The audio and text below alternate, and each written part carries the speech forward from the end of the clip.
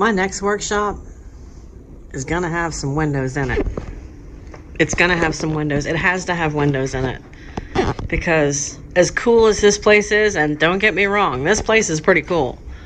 I've built it up over the last few years, and I've got it exactly how I want it, except I'd love either a skylight or some windows. I mean, I can see out, but I need some natural light. That's how we're starting out this morning. I was just outside and it's a beautiful day. It's so it's uh, what is today? Today is Sunday, July 28th, I think. Sunday morning. And we've had the most amazing, not mid south, deep south, humid. I mean, it's been fantastic. It's been like late September would be in Maryland or Pennsylvania or one of the northern states, you know, Illinois.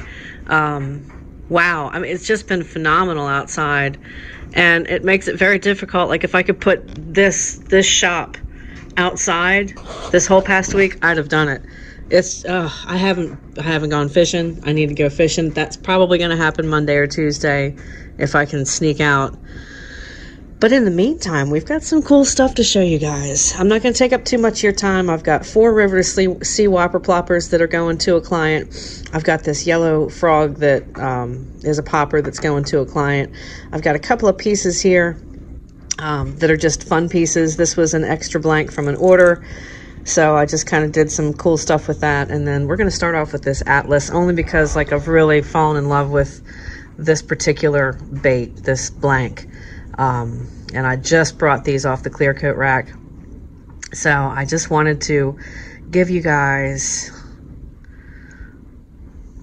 a couple of ideas for what, I mean, there's obviously you can do pumpkin seeds, you can do a bunch of different things with these, but I'm really digging on this pumpkin how the colors faded together. So basically, um, I did a black uh, I shot the whole thing black and then did my scaling, which is just your basic run-of-the-mill. You can get the get the fabric. It's almost like tulle fabric. I got it at Walmart. It comes on a bolt, a three-yard bolt, and it costs about $4. And it's just the average size scale, but I really like it.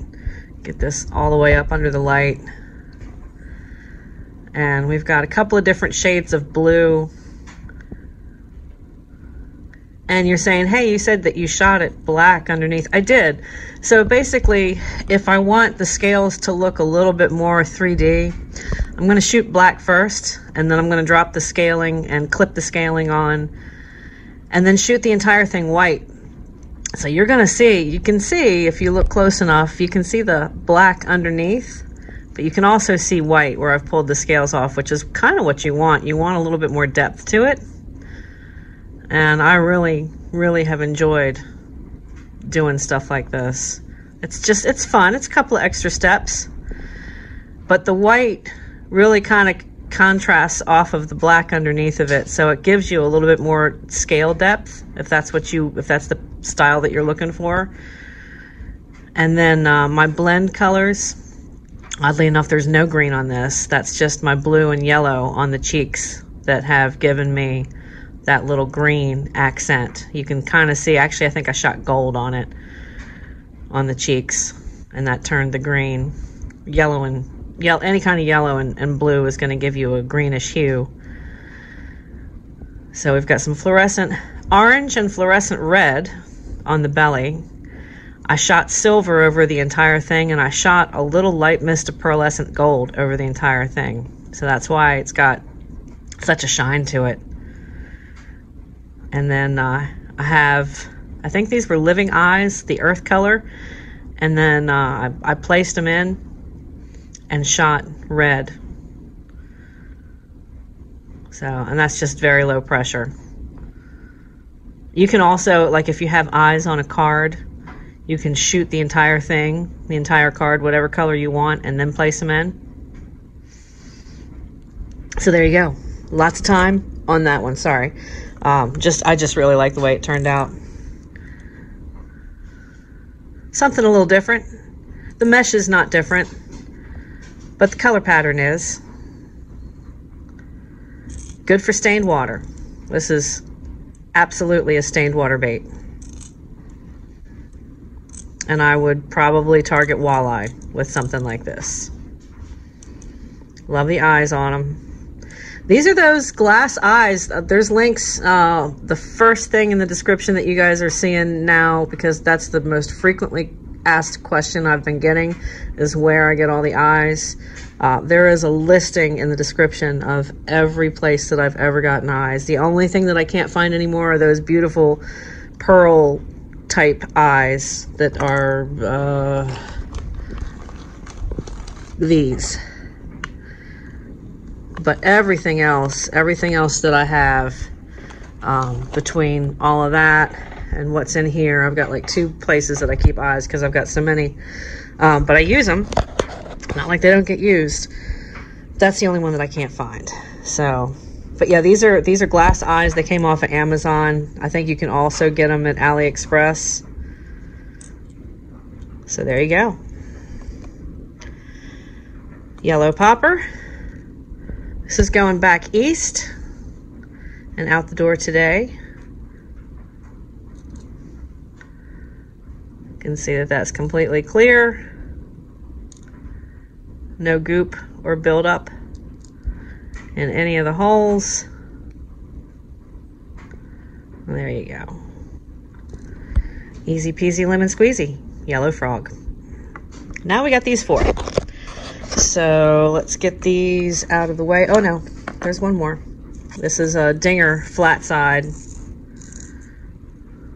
rattling. Kind of in a trout pattern, but would also be a pretty decent minnow imitation as well.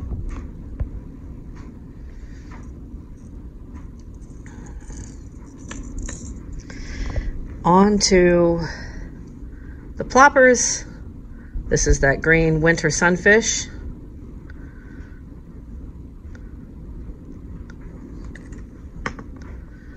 This is uh, my version of the green sunny, just a regular green sunfish.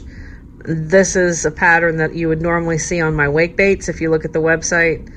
Um, I got four of these ploppers for from a client and uh, I appreciate if you guys are going to send me stuff that you guys already have, or if you're ordering them, that's no problem at all. Um, preferably, if you guys can send the more clear ones or the powder ones are the easiest to put a different pattern on. But nonetheless, and those telltale River 2 Sea eyes. And this is on the 90. So this is that 110. And then he sent me a 90 and he sent me two 75s. I don't know why, you know, I always gripe about camera focus. Um, but it can be a bit of a pain at times. Let's go here first. You guys have seen it. I won't spend a whole bunch of time on it. Um, this is the Wildfire Tiger pattern. Got that bright fluorescent orange on the tail. And then on the inner tail, I just did a black. We want that bright target from behind. And then you've got the flow orange up into a flow yellow up into the fluorescent green on the top of the bait. This was also shot black underneath and you can see some of the some of the black veins especially prominent on the bottom in that River 2 Sea. And these are, I coat these twice, so it takes a little bit longer, the process. Um, eventually, yes, I'm probably going to pull the trigger on UV stuff. I just, I don't have the space nor the budget at this time to make that happen. Um, but it is in my, in my foreground. I'm hoping to, maybe by the end of the year or probably next year because it's just so much faster of a process, especially if you have humidity or you've got like three weeks of rain. Like, I mean, every June, like May and June is just saturated in Arkansas with rain. So my dry time on a lot of this stuff takes twice, if not three times as long on these racks as it should And that's one of the reasons that I get so backed up is that I've got a bunch of stuff that's just drying and waiting and drying and waiting. So, yeah, UV UV is a super fast, like 10 minutes and you're good. 10 to 20 minutes, depending on how your your setup is. So it's coming, it's coming, folks. But anyways, so this is a double coat, and uh, because it's top water and top water, it's sort of like one of the more vicious attacks. These things get beat up pretty good if you've got the fish biting hard on them. So that's that wildfire tiger. And then he asked for a tadpole. Um, tadpoles are super cool. So I gave him, and this is a northeastern client, like way, way, way northeast, like more north than east, but northeast, coastal, I would say, coastal state. But he also mentioned that he really liked the green and orange, the fluorescent patterns as well. Like that was some of his favorite, and I think that he's had some luck with that. Um, I have a little bit of creative insight in the stuff that I do, but I just uh, these 75s are shaped like tadpoles, anyways. They're fatter bodied, River 2 Sea, um, and I, I generally I like these. I have a couple on. I keep a couple of these in stock pretty much at all times because these are some of my favorite patterns to shoot, and it's one of my most requested um, sizes now that it's out for customers. These are the real big ones. So, and and I'm doing that on purpose just so the way I do these is that I dip this side, I hang it nose down with a drip wire coming out of the nose. Uh, I brush the top part.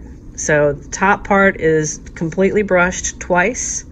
And this almost, because the tail is the way it is, you can see this opaque paint has kind of given way to some shadows underneath, which is really cool. It, it kind of gives it a really unique depth, which is one of the reasons I decided to do um, some white frog dots. But yeah, he asked for tadpole, and uh, I decided to kind of trick it out a little bit because he just said that he liked the the pattern. Anyways, I'm rambling. It is time for you guys to get back to whatever it is you're doing. Thanks for spending a few minutes on the channel with me. I really appreciate each and every one of you. Um, you mean the world to me, and I'm so happy that I get so much feedback from you guys. There's going to be some spray sessions coming out probably mid next week. Um, kind of cycling through orders. I might I have a run of something that I need to get done. So I might do a run for you guys. I haven't done a run since the I think I did the Excalibur lipless in Rayburn Red was the last run of baits that I did on camera. So you guys have a fantastic start of your week. This is Sunday, right? Yeah. So we're starting the week out with a bang. You guys enjoy. I hope you are safe and dry or maybe not dry. I hope if you go water skiing have fun. Go crazy. Go catch some fish, y'all. I'll see you on the water. Happy casting.